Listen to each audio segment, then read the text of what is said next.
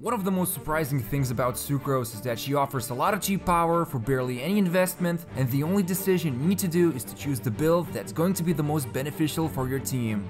There is no one better in the game than a Catalyst user when it comes to causing elemental reactions. And what's awesome about Sucrose is that not only can she create reactions easily, she can also spread the elemental statuses by simply using her basic attacks. And since she belongs to the Anemo element, you won't need to rely on her skills to cause the swirl reactions, because the basic attack you use on any enemy will spread the status to nearby monsters, although keep in mind, you only refresh the status the enemy it spreads to. You can see from this example, the fire status won't refresh if you hit it directly with your basic attack attack, but it will get reapplied as a new fire status to nearby enemies, and then hitting the other enemy will reapply the status back to the original. Basically, if you want to keep swirling forever, just make sure to switch targets so you can keep the statuses refreshed. And the reason why you want to swirl targets is that you will deal significant reaction damage, but more importantly, any teammate that shares the element that gets swirled will get their elemental mastery increase from Sucrose's passive talent. And that's only the first buff she's going to provide. Now if you hit the enemy with her burst or skill, she's going to provide an additional buff for the whole team, which is going to be 20% of our own elemental mastery. So in reality, all you need to do is just use your skill once on the enemy that already has been affected by a status effect and you will trigger both of her passives. Finally, her skill and burst can pull objects towards the center, which means anything like Xiangling's bear, Amber's dummy, or Klee's bombs will get grouped together with enemies. It's also important to mention that the burst will pull things more easily as well as absorb the element it comes into contact, while the skill will barely pull any objects and won't absorb any elements inside of it. All in all, she's the ultimate master of swirls, and getting her to the 4th Ascension will give you two passives to boost your team's elemental reactions. Not to mention you will have an easy time keeping any other elemental statuses, like Pyro and Electro constantly reapplied from all those swirls she will be creating.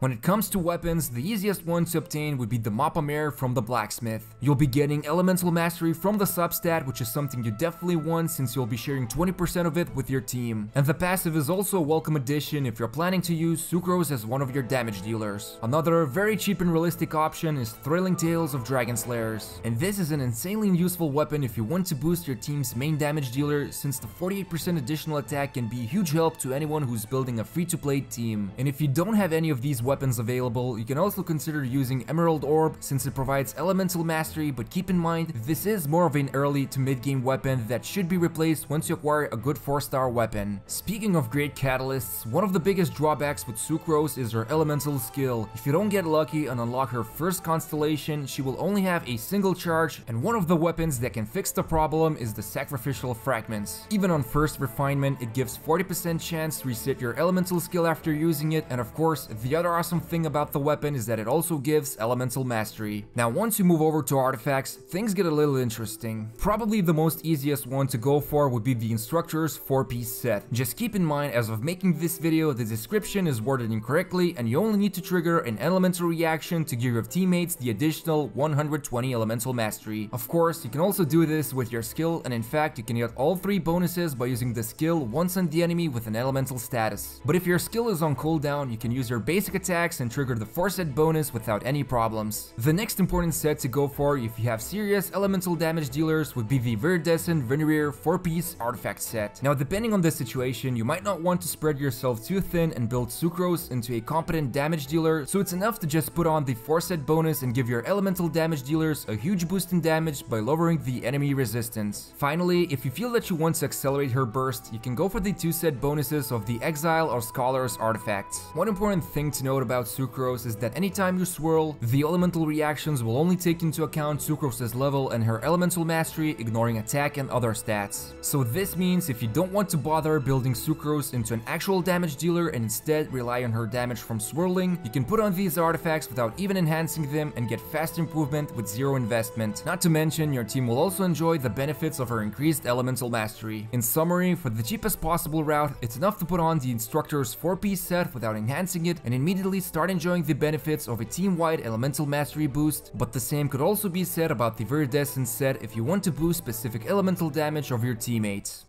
Building a team with Sucrose is especially easy since as of now, a lot of people are choosing to create teams based on elemental reactions. And because of her hyper-focused nature to improve teams' overall elemental mastery, she can fit in really well with anyone who has reliable skills and bursts. For example, Xiangling and Fischl both leave their skills active on the field even if you switch them out, so before you unleash your elemental combos, Sucrose can easily give a couple of hundred extra elemental mastery points without too much effort. She's also great for when you're doing mundane tasks like picking plants or mining, especially if you can put her together with another Anemo user like the Traveler, since you will receive an increased movement speed you get from the Resonance bonus.